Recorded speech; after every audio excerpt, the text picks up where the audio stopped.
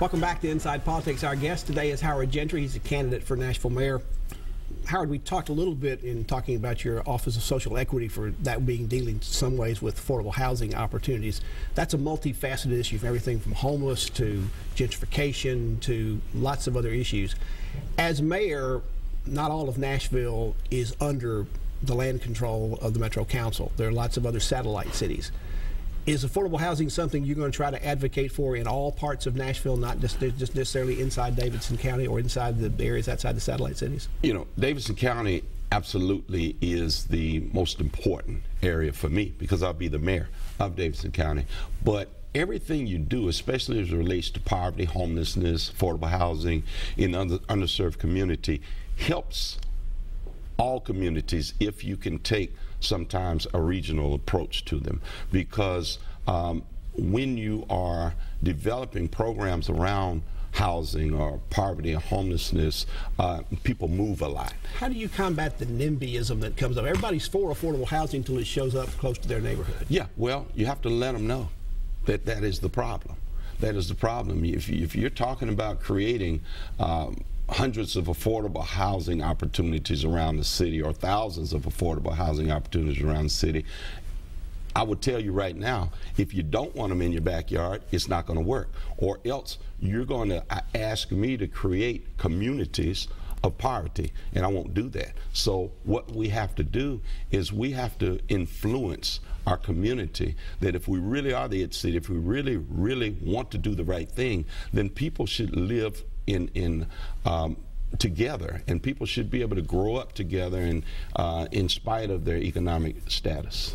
One of your opponents, Bill Freeman, has a new TV ad out that says he's in favor and endorsing the idea of regional light rail. Everybody wants to be for mass transit. Would light rail be part of your program, or do you, or do you think there's something else you want to do? Well, light mayor's light light rail is definitely part of it, but it's got to be mixed modal. It's it's uh, we've got to be very um, uh, agile in, in doing this because there there's so many parts that are moving uh, as it relates to our transportation. You're the only mayoral can candidate who's not run television ads to this point. Do you plan? How important is TV in your campaign, and do you plan to do some? You know, TV is important, but again, as I stated earlier, a lot of the candidates are spending a lot of money to to reap the investment I've already made.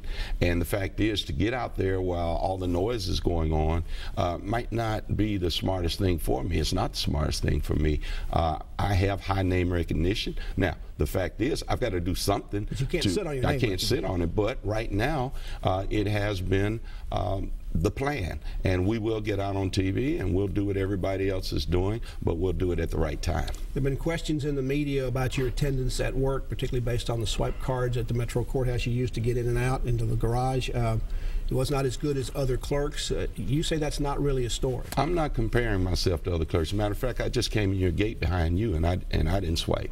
Uh, the fact is that there are a lot of days that I go to work and that happens. There are a lot of days I go up the elevator and other people are already on it. The fact is, I'm not going to be um, are defined by a swipe card. I'm not going to be defined by a calendar because there's nothing else there. Uh, the fact is that I do go to work. I work hard. I've been working all my life.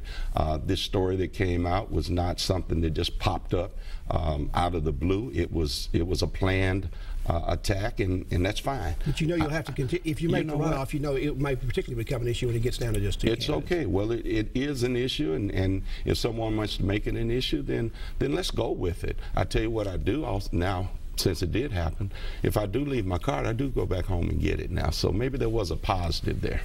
Uh, the Metro Council on Tuesday night is going to look at a pay raise for the next mayor, taking it up to $180,000. Probably an awkward time for any candidate, but if it goes into effect and you are the next mayor, will you take the raise? Yeah, I'll take it. And but you know, it's not about taking. I mean, what, what the fact is, why would I not? Uh, but he, the reality of it is, is that. Uh, if they raise the salary, it's because it's supposed to be raised, and that's the decision of the council. If they don't raise it, I'll be fine with what they pay. Uh, but I'm not going to make it a political uh, ball. The fact is that when I was vice mayor, here in Nashville, that's when the council raised the salary to what it is today.